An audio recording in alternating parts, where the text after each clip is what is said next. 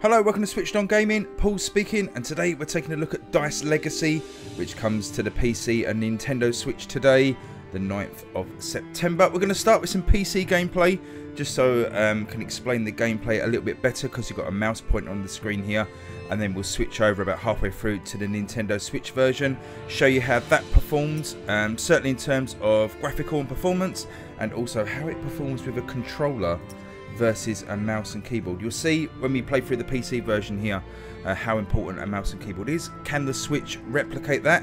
Find out a little bit later. So this is a uh, world builder or city builder game that you uh, play in this fantasy world but you use dice as your workers. It's kind of like a mix between a roguelite and a board game uh, using dice. It's really cool if you're a fan of board games, uh, especially dice rolling games you're going to love this. The developer actually cites Pandemic as uh, one of his favourite games. So we're going to get into this here. We're not going to uh, have the tutorial on. Played about six hours of this over the weekend. Absolutely love it. Um, it's just a, a brilliant game, just in terms of presentation, gameplay. It's just oh, honestly, it's uh, oh, this is one of my most anticipated games of this year when I knew it was coming out, and it is absolutely delivered in spades. So, first scenario here, and there are various scenarios to unlock.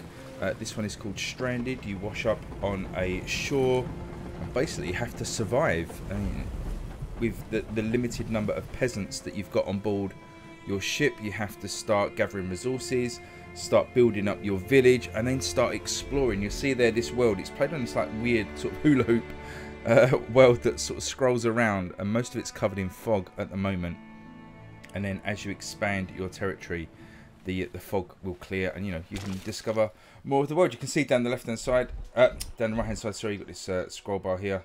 This is at the moment how far we can go in the world up to this point here. If we scroll up and down uh, we can't go any further than that. So you see we've got all of this rest of this world to explore.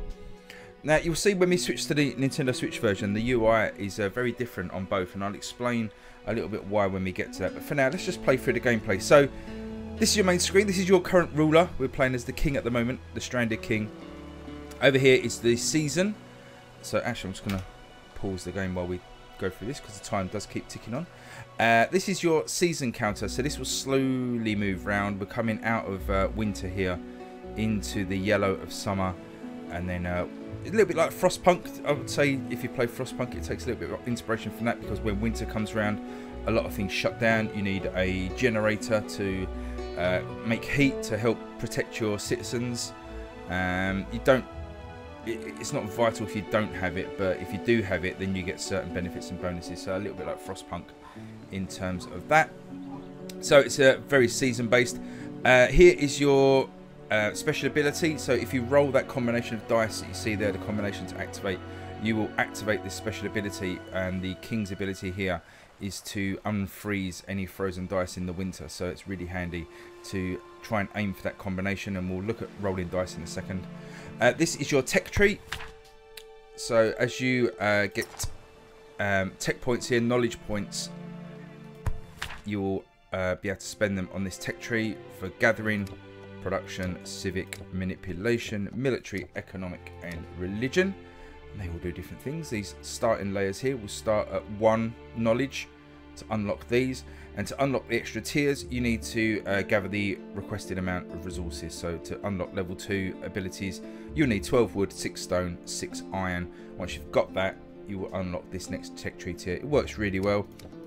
And just, I mean, I'm going to probably be saying this a lot and you'll probably get sick of hearing it, but just so well thought out. All of these little things, just so well, uh, so, so really well done.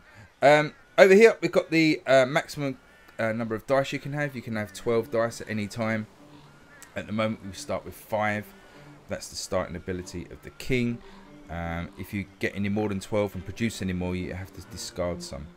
These are your different classes of dice. We start with peasants. These are like the orangey yellow colour. Uh, these are like your main workhorses. But as you go along, as you build the buildings, you'll be able to generate citizens, merchants, monks, and soldiers. They all do different things. Basically, what it means is, A, they're different colour dice. Um, but also they all have a different number of faces on. So, for example, the soldier dice will have more sword faces than, say, for example, uh, building faces. Just going to see if we can click in actually and see those. I think it's actually this here. Uh, it's weird because the Switch and the um, PC UI are quite different. So the things that are on the Switch UI that I've been playing over the last day or two are different on the PC. But uh, it, this is where we can see the die faces here. So the peasants have kind of this um, working die. The first one there on the left, sort of the cogs. They've got two sort of um, production abilities: the axe and the pickaxe. A building face, a sword face, and an exploring face. So that's what the peasant die had. A bit of everything. But as I say, for example, if you looked at the die faces for the military, it was, uh, I think it's three or four swords, uh, a work face and a build face, something like that. So, that's the die face explained. Here's the resources that we've got. So we've got food, wood, stone, uh, gold, iron, wheat, ale or beer, and herbs. You collect those by sending your dies out to these spots on what effectively is a board, but the world. So the die faces have to match uh, what we've got here and the higher the number on the die the more productive the um, action will be. Uh, this number underneath the 16 is how basically how many times you can roll that die before it perishes. It kind of acts as the aging of the peasants. So at the moment, at the start of the game here, we can roll these 16 times. It's plenty of times.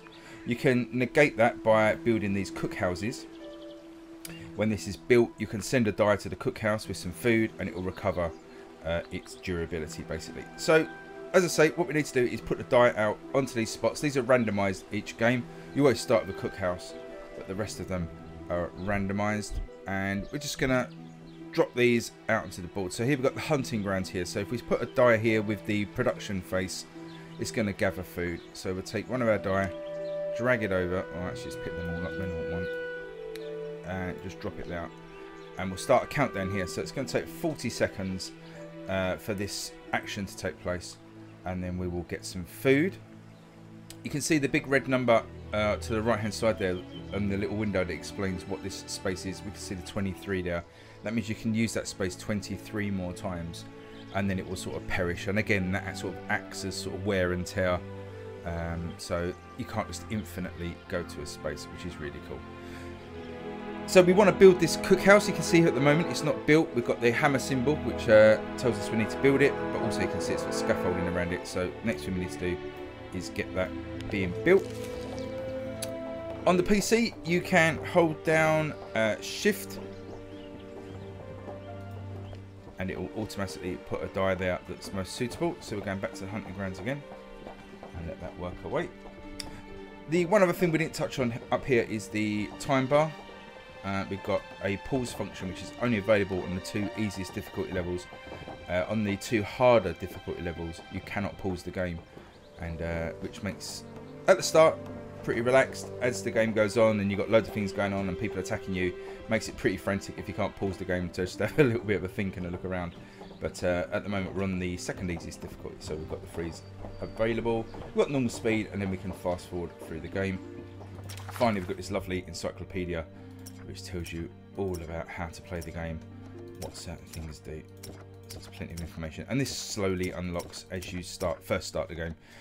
Little minor quibble at the start of the game, and I've uh, fed this back to the developers, but I think the onboarding process, like the tutorial when you first start the game, could be a little bit more detailed uh, to sort of help show you what you need to do. You can enable a tutorial which will pop up uh, hints up here, so it'd be like, uh, you know, build a house, build a farm, that kind of thing, which does kind of guide you through the game. but It doesn't tell you how, um, but that's fine. So we've got, we're going to go and gather some wood from the forest. Get that working away. Now you see here, when the die come back to your uh, space here, they are greyed out. They're kind of, they're exhausted. They can't be used again. You can't drag them out. You can't do anything with them. And you have to roll the dice again. We've got this other die here. This is the explorer phase. We've got no exploring that we can do at the moment. So basically we need to roll a dice. But one of the um, sort of key gameplay elements is making sure you do efficient rolls. It's no good to keep rolling a single dice over and over and over because you'll just, you know, it's a waste of resources.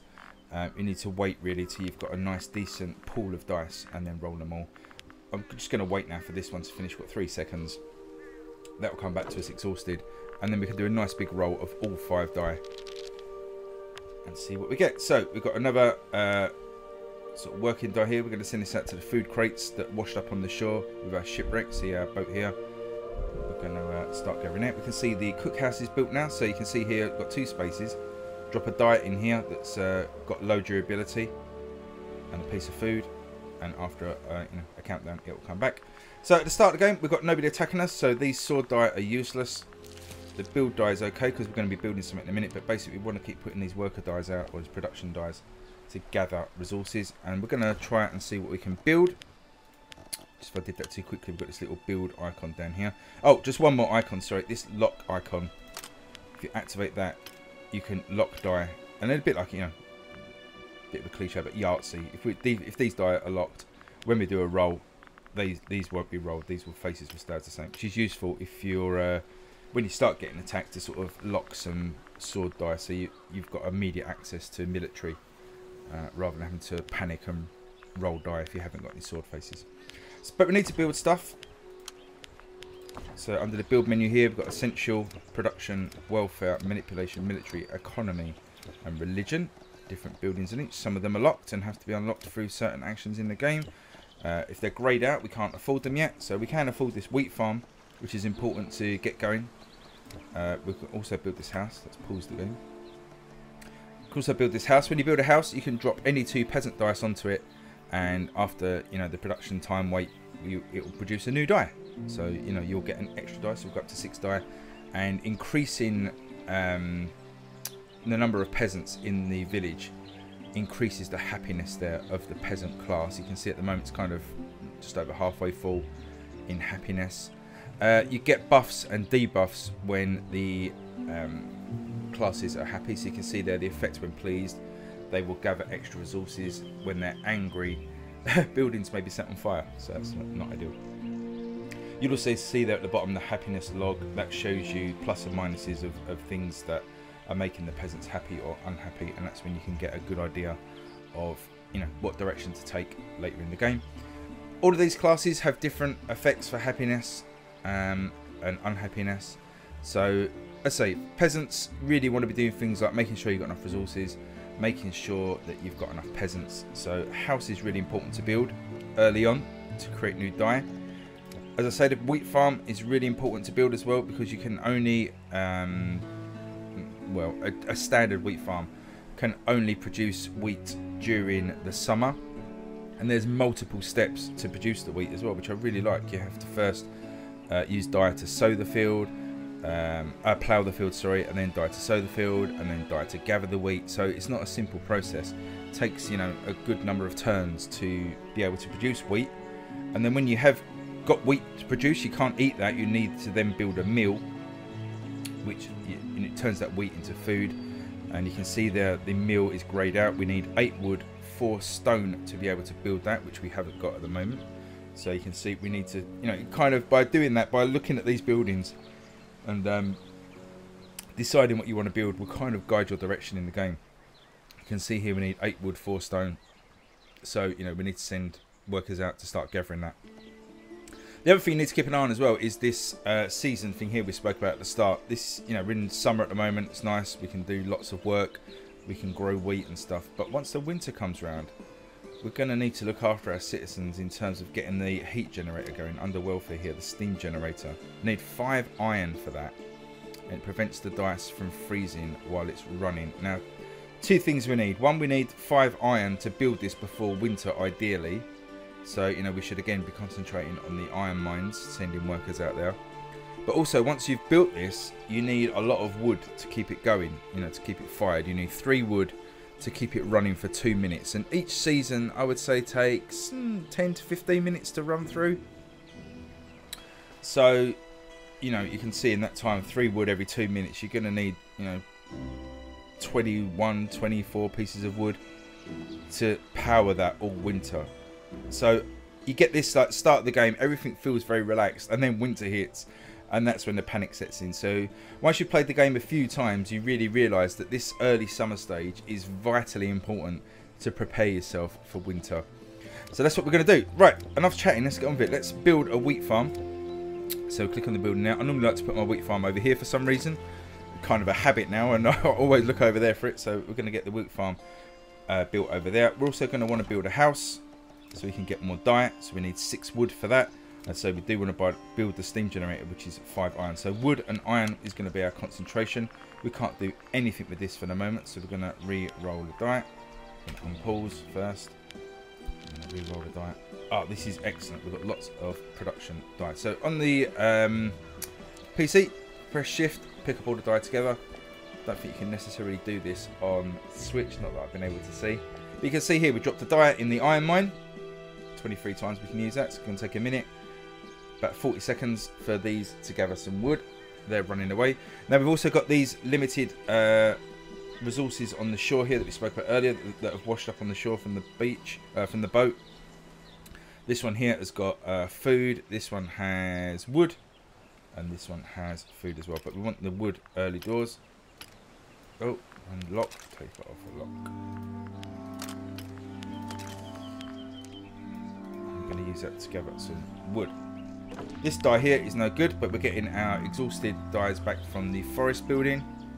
We can see here now the farm needs two workers to plough. So we're going to keep an eye on that as well. Um, but yeah, that's our focus for the minute is wood and iron. We can speed up this gathering here. We want to really, as I say, get an efficient roll. So we're going to try and get all our die back here. We're going to roll again. That's not so good. We don't need that, we don't need that, we don't need that, and we don't need that. So not very good. So we're going to re-roll those. Another couple of workers here. We're going to send one out to the iron mines. Might as well keep the other one going there. And we're doing eight food, seven wood, two stone, only one iron. So I think we've only got one iron mine. Stone mine is outside our territory at the moment. That's a stone mine. That's a production. So we've only got one iron mine. Oh, that's a good roll for us. So, get another one going out there. Mm, we'll gather some food just while we can. So we've got no diet at the moment, so let's speed up. There is an option in the game to uh, to halt the game on an activity. So if, if an event comes up or we get attacked, this this will stop and go back to normal speed. So we've got four of the die back and that last one back there. So we've got no die we can use. Let's re-roll. So this is good. We've got two worker dies. We can stick them in the field to start them ploughing the wheat field. We've got one more worker. We're going to send him back to the iron mines. You can see the durability going down now. So they've gone from 16 to 11 and 10 for these two die. re-roll them and that's an excellent result. Stick those in the forest and speed the game up. So at this moment, I you've got to make a decision. Do you go for the house, which is six wood? We've got 12 at the moment. Uh, we've got 12 at the moment. We're kind of in middle of summer. We've probably got enough to gather more wood. A house would give us more die to make more workers. So let's build a house. Let's go for it.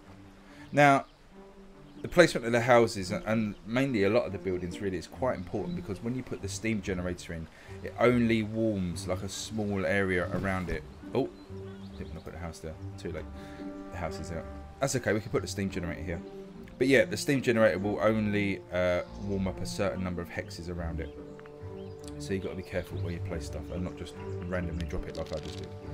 So we've got some hammers. We need two hammers to build the house. We've only got one. Free diet here. They can go wood, wood, iron.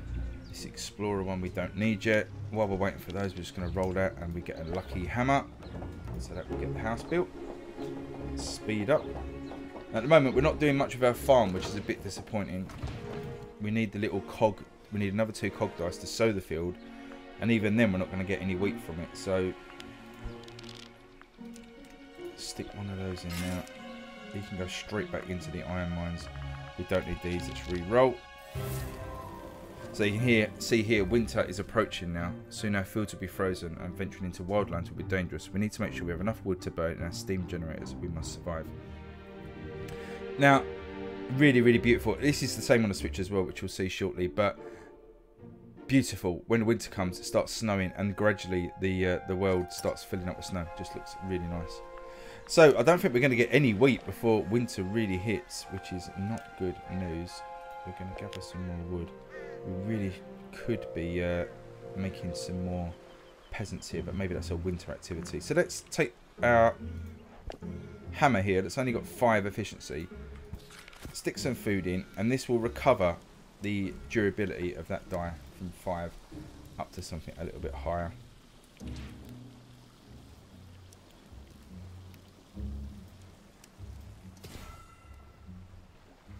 Oh, this is tempting to wait for the other die. We'll wait for that one.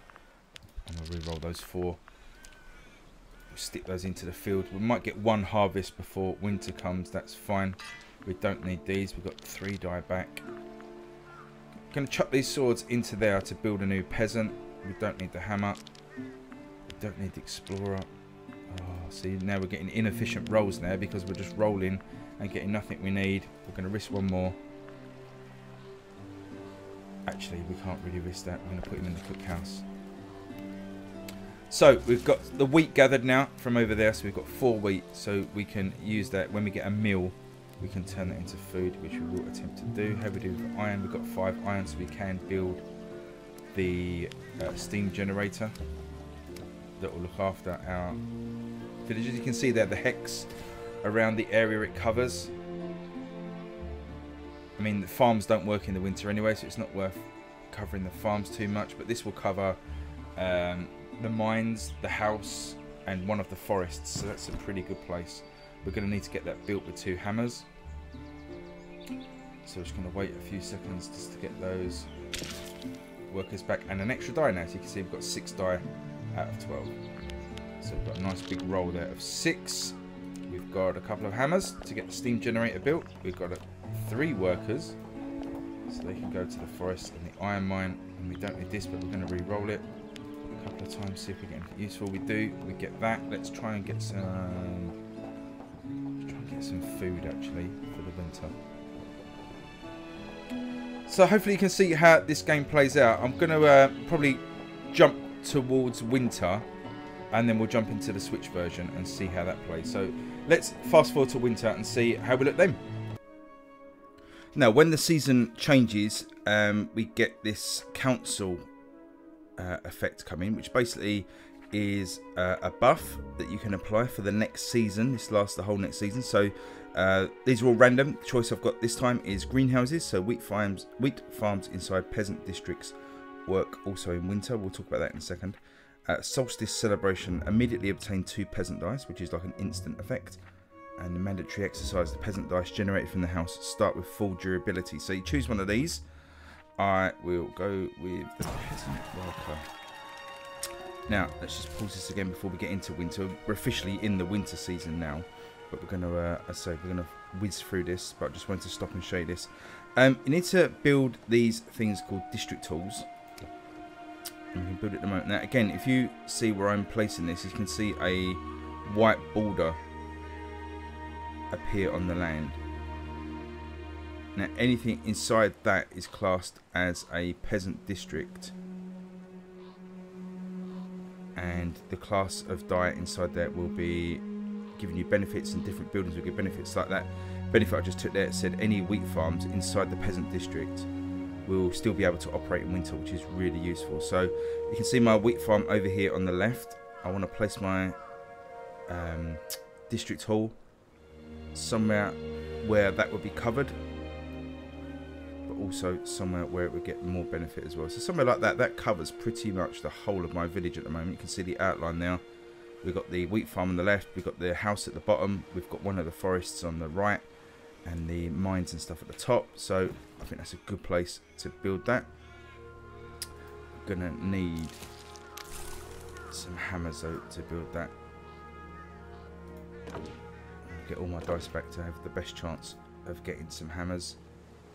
So we'll just fast forward that. And you can see now, I don't know if you can see it on the screen, but the snow is starting to fall. There's little flakes of snow. And this is like brilliantly done, this snow effect. I, I, I say I'm going to probably time-lapse this and get through winter and uh, then switch to the Switch version, if you excuse the pun. But I just wanted to show you how the game transitions into winter. It's just beautiful. Oh, no hammers. There's one hammer.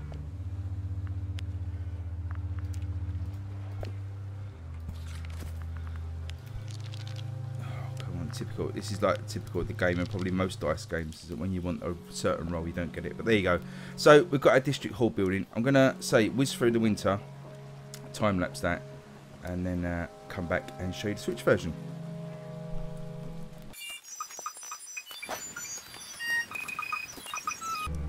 Just want to dive back in here and show you how the dice are frozen. So I can't do anything with these. I can't place them. I can't roll them.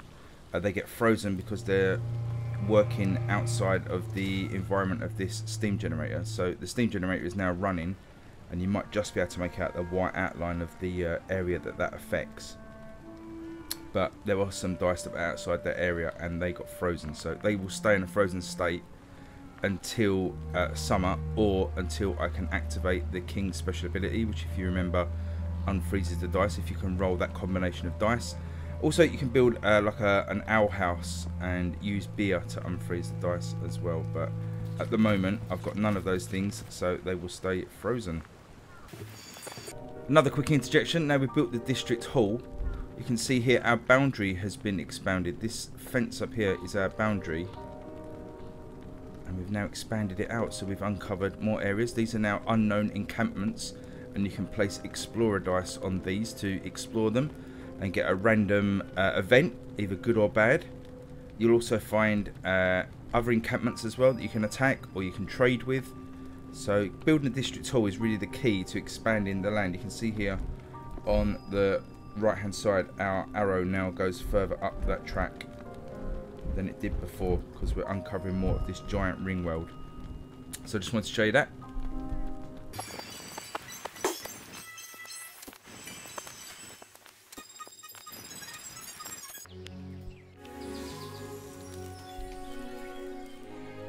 There you go, you can see the snow starting to melt towards the end of summer there. And you get the uh, next phase, the next season. So uh, just informs you that winter is gone. Weather's getting warm again. We've made it for our first winter and it's time to move forward and discover what lies ahead. We get access back to the wheat farm. We get all our die, frozen die unlocked. We get another choice at the council. So any uh, council policy with this wax seal is a rare policy. So uh, make note of those when they pop up because they could really be worth taking. So this one doubles the amount of food produced in all buildings inside the peasant district. Um, take actually. And there we go. So that is the basis of the game. I'm going to um, switch over now to the Nintendo Switch version so you can see how that runs and performs. Uh, I think you'll be pleasantly surprised, but let's have a look and uh, just have a quick talk through that. And here we go, see the Nintendo Switch version. Um, just going to talk through some of the UI because the UI has changed on the Nintendo Switch version, which I think is a really good, you know, shows a really good degree of of polish and understanding, you know, to change the UI rather than just doing a straight port from the PC. Really well thought out. So, uh, top left hand corner, we've got the time bar now. Over there, that's controlled by up and down on the D-pad.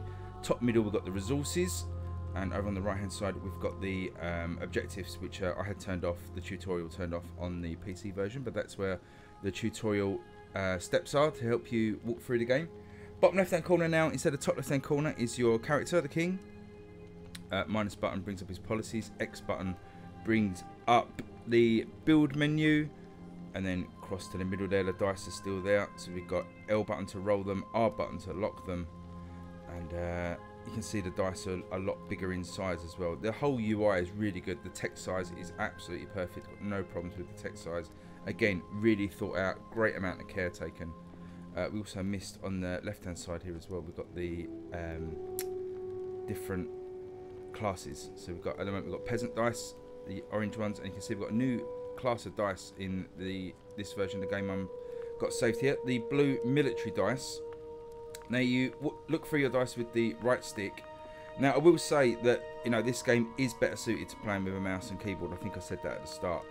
Uh, I think they've done a good a job as they can with the controller because there's a lot of you know a lot of controls and it's quite complex and I think it's really well thought out but uh, if you're just getting the Switch version you'll probably get used to it pretty quickly if like me you're switching between the PC and Switch version it's kind of a bit of a brain melt to, to get your head wrapped around running two versions of the game, so I'll probably pick one and stick with it. But uh, as I say, controls are well thought out. So we're going to press up on the D-pad to start playing this one. Use the ZR-ZL to rotate around the world. And you can see it looks really nice. I know we're kind of back in the snow realms again that we left behind on the PC version. But there you go. We've got um, this cursor. Use the left stick to move this over areas. And so you would, for example, if I want to put a die in the cookhouse here, nice clean view, I'd move my cursor over the cookhouse then use the right stick to select the die I want to use. Press the A button. And it goes into Quick cookhouse. You can also press the, just hover over an area. Uh, let's see if we can find one that needs a die. Let's re-roll actually. And get a worker die.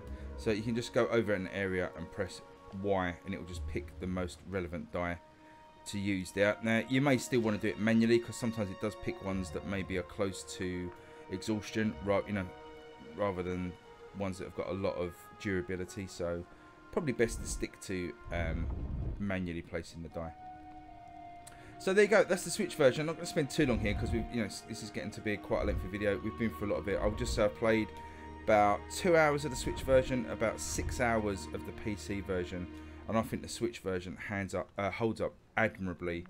Uh, I've not explored too far in the Switch version yet. This is my second game of it, and I haven't been too far beyond this sort of area. But I mean, the performance has kept up. There's been no slowdown or anything like that. But I can't attest for uh, if there's any slowdown as the game builds up and you know you get the full ring. But you know, so far so good really. As I say, controls are good.